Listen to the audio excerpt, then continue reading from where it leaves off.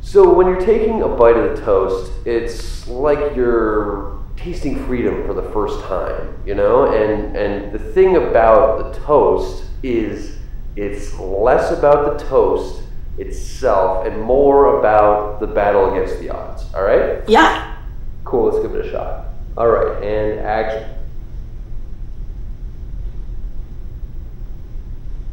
That's great, thanks.